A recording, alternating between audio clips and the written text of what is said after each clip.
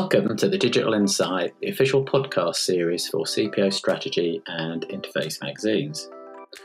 Today, I'll be talking with Mohammed Kafil, Senior Product Manager at procurement software provider Kissflow.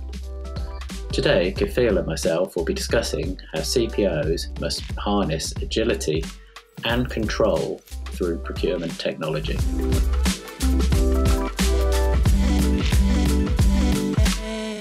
Yeah, thank you so much for giving us some of your valuable time today. Um, we really appreciate that. Sure. Andrew, uh, I am the product head of Kissflow Procurement Cloud. Okay. And I'm also the head of uh, customer success, right? I am with Kissflow for almost uh, one and a half years now, prior to which I was with KPMG as a, a senior manager handling Procurement Cloud, strategy and operations in the advisory department of KPMG and prior to KPMG, I was with SAP Labs handling their uh, product management and customer success division in the procurement domain. And I am a procurement and supply chain professional for about uh, 13 years now. So I'm doing I'm, I'm doing supply chain uh, since 2008. That that's the background. Um, it's quite a CV there. Um, so um, procurement right now, I mean, it's obviously gone through um, a massive change, hasn't it, in recent years? Um, how would you kind of describe uh, procurement significance today? Um, because obviously it, it, was at one time kind of considered a, a cost saving back office function, wasn't it? But, but that has changed so much in recent times, isn't it?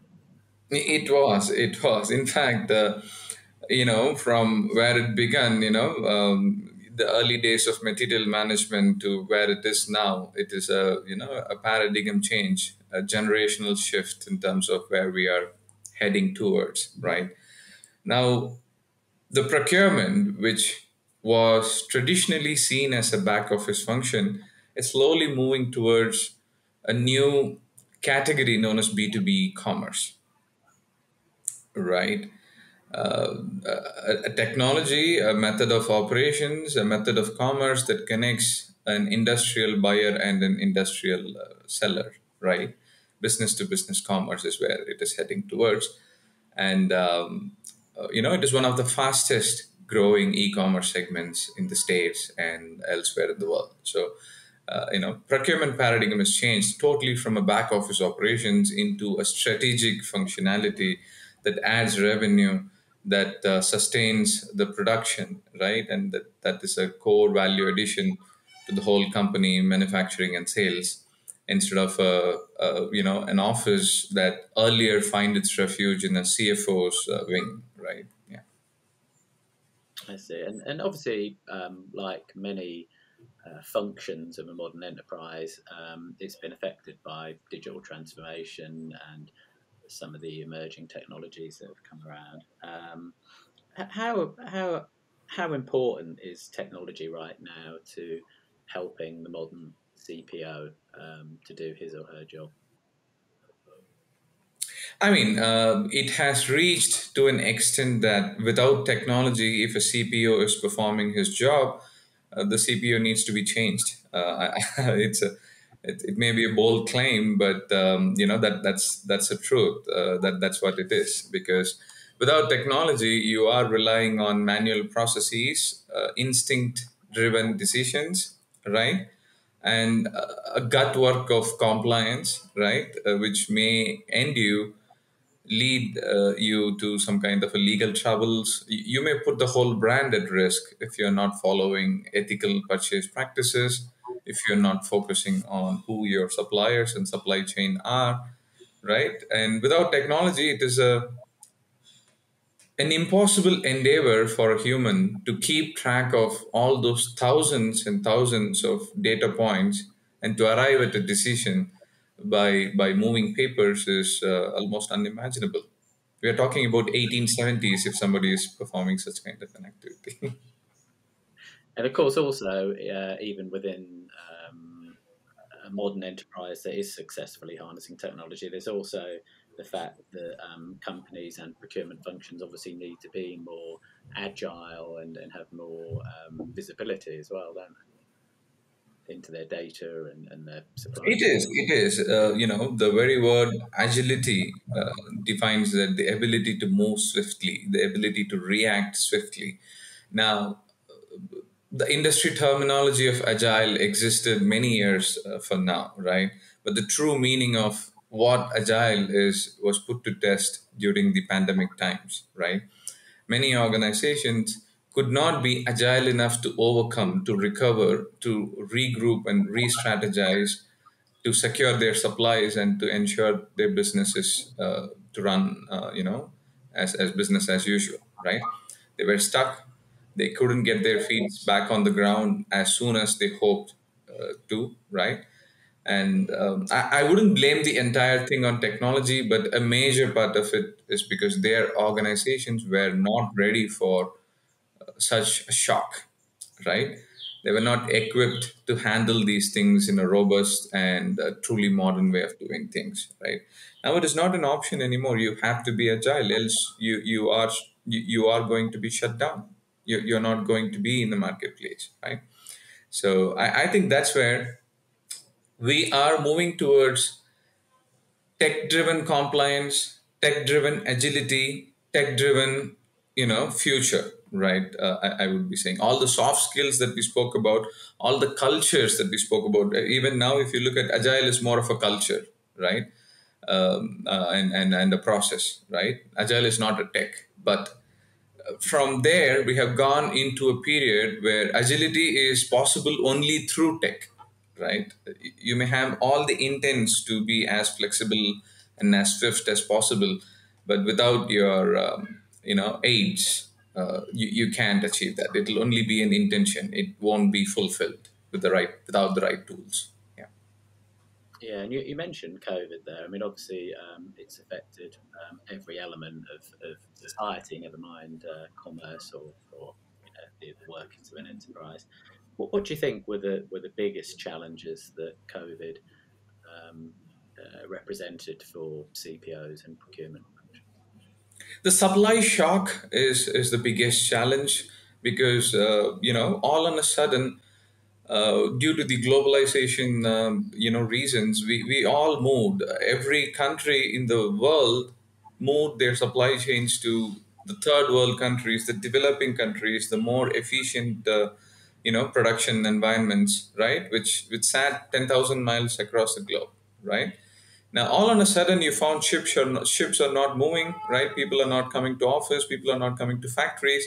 The downstream impact right is is reflected in us or in uk or in middle east right across the globe right now it is one thing that COVID impacted your health. Your own people are not willing to come to office. Your own customers are not willing to step out of their homes, right? You may find a workaround. You may say that, you know, I, you know what, I can offer you home deliveries, right? You, you know what, I can offer you remote working environments, right? All that is possible. But what would you do if you don't have your raw materials, if you don't have your essential supplies, right? How will you make a product and how will you do the business, right? this is something that is unforeseen in the modern uh, enterprise era at least for the last 200 years nothing of this sort happened right uh, truly globalization was put to test and uh, that's where the importance of strategic category management came into picture the importance of nurturing local suppliers nurturing women minority owned business enterprises right you know understanding and assessing your supplier risk, right? Supply chain risk, right? Logistics risk. All these came into picture, into limelight after the COVID situation, because you know, one more such shock, uh, you know, we will, um, you know, truly be in the turbulent mode uh, without uh, without being prepared for it. Yeah, and, and I guess also um, uh, sustainability comes into this as well, doesn't it? Because to some degree now, that's the other big issue that a lot of CPOs are grappling with um, in terms of um, trying to make sure that their uh, practices are sustainable and, in fact, that their suppliers are adhering to the same codes of practice. Um, so that kind of visibility, if you like, through um, uh, some of the technology that's able to um, you know give us insight into into those kind of workings is vital right now. It is. It is. In fact, Andrew, I, I would like to add more to it. It is not just pandemic driven, right? The buyers are exposing themselves to all sort of litigation, all sort of image, brand related risks if they do not know who their suppliers are. Maybe there is a factory that a buyer hasn't even seen in his entire life is employing an unethical labor practice, is paying below, you know, minimum wages, right? And suddenly the news breaks out, right? And the whole brand takes a hit, right? People are uh, conscious in terms of ESG, the environmental, social, governance related practices of a company, right? And uh, that that is that is becoming mainstream now. It is no more a pipe dream. People are conscious in terms of who they are buying from, who they are enabling business for, and if those businesses are not ethical enough, environmental enough, social enough, right? They are shutting down the businesses. They are shunning their brands and moving towards a more ethical, a more home-driven, uh, you know, conscious-driven businesses, right? I think it is the job of a buyer evolved from you know the job of a buyer is not savings driven anymore. The job of a buyer is evolved much more than that. It is to find supplier partners right? Find out suppliers nurture them co-innovate with them ensure compliance for the suppliers on behalf of the buyer. You know much more engaging much more multidimensional than the unidimensional aspect of price right? It's it's no more price right people are okay to pay a couple of cents extra for an organic product or a bamboo fabric right? That that's because they are they they all are conscious about what they use what they consume all of that yes. That's the future is. And, and would you say uh, procurement now really seen more as a, as a, as a business partner, really? well uh, there, are different kind of needs based on the business sizes for a small enterprise where they do not have the scale where they do not have the knowledge. They expect the procurement to be a business partner. And that kind of businesses are emerging as well.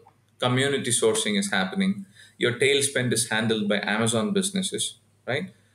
Where procurement not as a software but procurement as a service is provided to uh, you know the smaller businesses right? Because they can't afford to have an in-house CPO office right?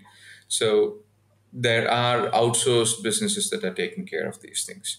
Then there's something like value addition in procurement where a lot of mid-market a lot of uh, a location driven businesses that, that are not easily scalable like a hotel hospital care delivery centers right?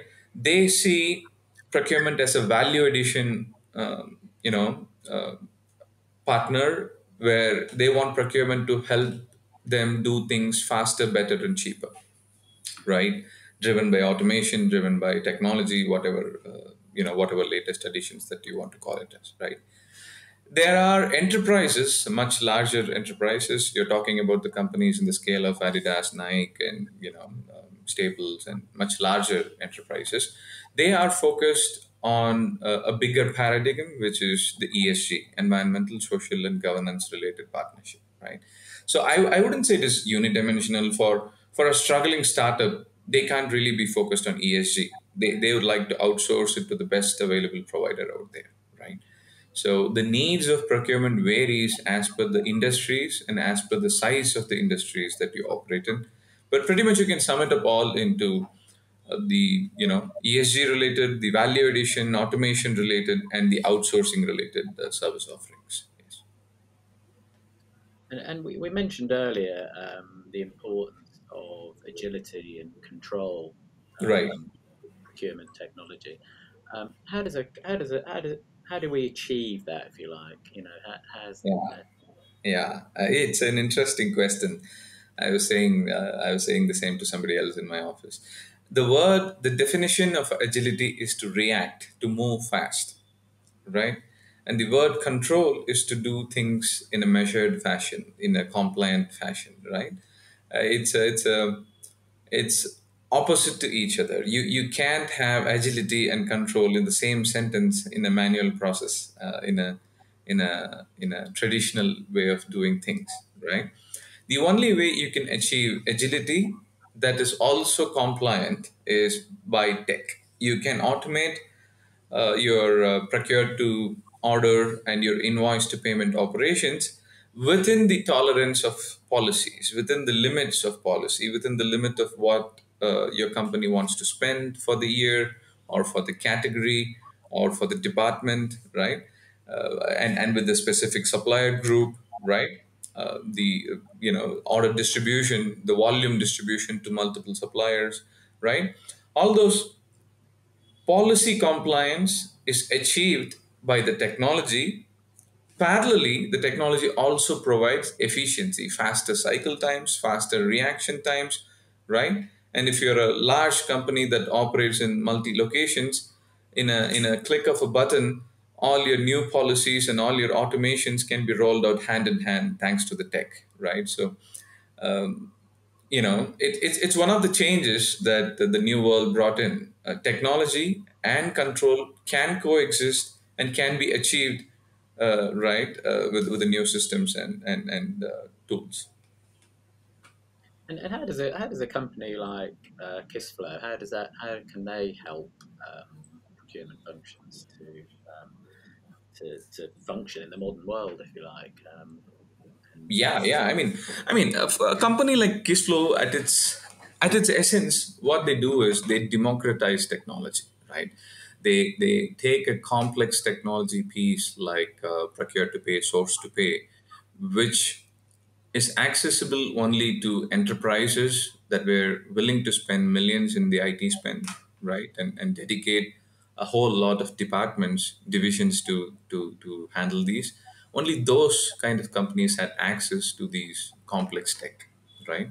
Now, what Kissflow does is Kissflow takes it, simplifies it, puts it on a cloud, right? Uh, and, and says that you can have access to the same complex, efficient, advanced technologies for a fraction of cost, right?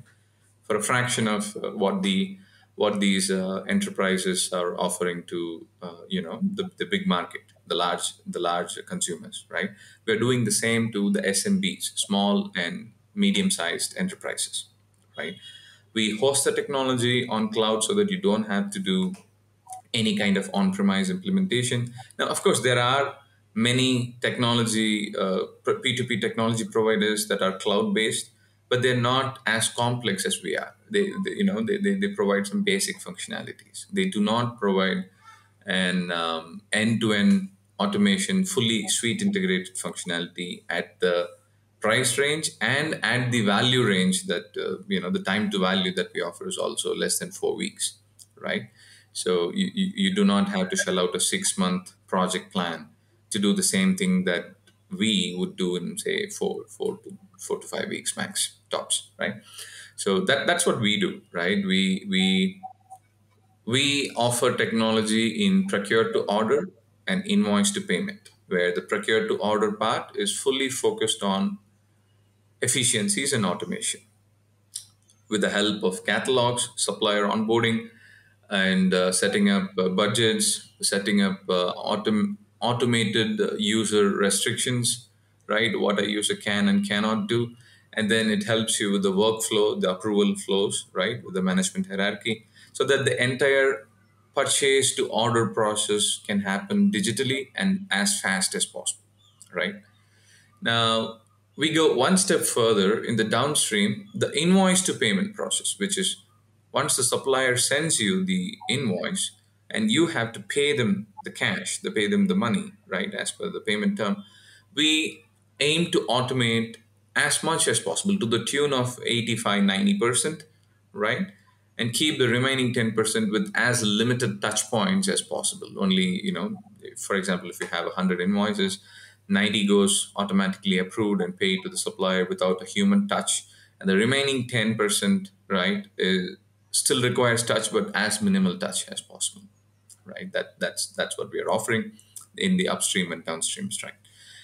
On the parallel side, we are also offering sourcing, the strategic sourcing and contract uh, management uh, modules, right, which is the genesis of the whole P2P operations, right, where we allow, uh, you know, an RFQ, RFI, RFP processes to get the best prices from the supplier, to compare the prices, to compare the savings, right, evaluate and award the contract to the best supplier who's selected not based on price alone but on other parameters like how they are rated what is their first time uh, you know success rate what is the quality of their produce. All that parameters are considered into picture and then a system recommends to whom to award this to right?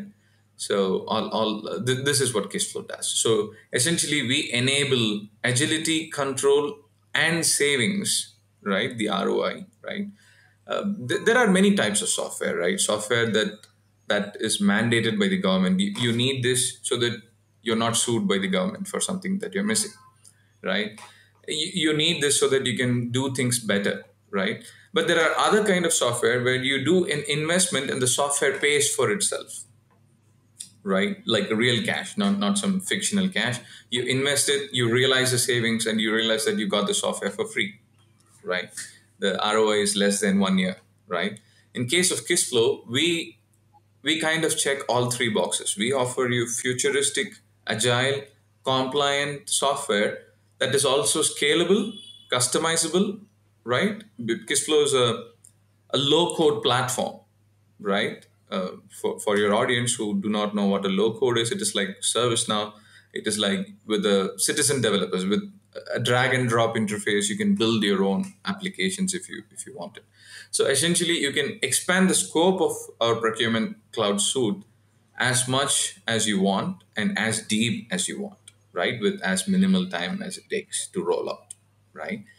Uh, and and as I said earlier, our, our software also provides the best ROI, which is less than one year's time frame. You you pay something, you pay an X dollar, be sure to recover your X dollars in less than nine months, one year. Yeah. And, and what, what do you think um, makes uh, Kissflow's offerings um, unique, say, when compared to maybe some of your competitors? Okay, so we are unique in multiple trends. If if I have to say what what we are truly unique about, I would not say our price point, right? Uh, because in in our mind we offer value and we charge for the value that we offer. We we charge judiciously. We do not charge exorbitantly because that is not what we stand for as a company. But what we are truly unique about what what's unique about us is our ability to customize, our ability to extend the solution. For long, on premise solutions were preferred over cloud because on premise offers you limitless customization possibilities. And cloud traditionally meant that it is an opinionated software. A cloud software will tell you what is the right way to do things, and your process, your company should follow what I determine as the business process, right? Because the software, uh, the traditional cloud software cannot be customized company to company, right? It's immaterial how unique the activity is and how, uh, you know, indie uh, market that that whole thing is or how creative the offering is whole thing is. They, they're, they're to say okay you know what? You can be as creative as all, all you want to be but you have to follow the standardized process that we set because our software can do only that. Right? And that's what cloud meant all these days. Right? But we are a platform and we are not just a platform we are a low code platform and we are not just a low code platform we are also a no code platform right so which means in one platform you can do anything that you want you, you want to build a hr uh, application user management application and integrate that function to procure a temp labor or a contingent workforce, right? You can extend the solution, right? You want to plug in the admin department and say that, you know what, now I want to handle the travel and expense management. You can do so. You can extend the solution by simply dragging and dropping a couple of fields or coming to us. If it is a little more complicated, you know we will be able to develop that in a low code application what low code means is uh, you know from from ideation to deployment we are talking about weeks not years right you, you're not going to get an answer that says this feature is not with us we are planning it in the next 20th uh, roadmap right? Somewhere down the line we are going to launch it for you. That is not an answer kissflow is going to give you right? We, we are going to take something we are going to we are going to take a requirement from you and fulfill that in weeks right? So th- that kind of extensibility is uh, an unheard uh, paradigm in a cloud software all this way. Yeah. Um, and we mentioned earlier, um, know, how, how much procurement has changed as a function, um, some of the challenges that COVID and sustainability have, have put to CPOs. Um, what do you think are going to be the, the biggest challenges for procurement, you know, over the next know, year, two, three years? You know, what, what kind of trends do you see coming that, that are going to change the way in which technology functions and, in fact, the way that procurement functions? Well, I think the reverse globalization is going to happen. With pandemic, people are not going to risk their supply chains into a, you know a distant land, right? they are going to want to retain some element of a captive center based development or production or an in house inland production or an alternative. So I think the real challenge is going to be finding, nurturing, incorporating, and co innovating a new supply base that provides the same efficiency as an offshore supplier is going to be the real real challenge in the next upcoming years right? And that's for the and that's for the procurement offices that are already in the forefront right? Now that's just 20% of the whole b2b commerce market. The remaining 80% of b2b commerce still prefers cash edi based you know all the 8 trillion 7 trillion worth of b2b commerce is not uh, performed on procurement it is performed on manual operations cash heavy operations and paper heavy operations right so there are different enterprises, different markets that are on different levels of maturity, right? For a matured organization, getting a new supplier, supply discovery is going to be the bigger challenge in the upcoming years, right? And for an unmatured uh, org, an unmatured enterprise, an org restructure an org reprioritization, establishing a CPO's office in first place is going to be the bigger challenge. Finding the right uh, process, finding the right policy, finding the right people, finding the right technology is going to be the bigger challenge, right? For an enterprise, mid market, and for a small vendor, they're going to look at they're going to need to discover an ecosystem of application because they can't keep spending for IT and time and money every three months. They're gonna, they're, they're not going to enter into a digital transformation for every department, right? They're going to need a platform like solution that takes care of the whole IT uh, workbench or IT platform or IT control tower that, that kind of fulfills all of their uh, tech requirements is going to be, you know, the SMB's challenge point right? Because it's not just the money. Maybe you know an SMB is successful and fast growing, but if they have to uh, keep investing time and not focusing on their core business, once in three months they're going to have to embark on a six month journey to to transform a department. That that's not going to help, right? That's uh, that's still silos. Instead of doing things in paper, you're doing things in in a system, but still it's not truly a connected commerce work workspace, right? That that's going to be the challenge for SMBs. Right?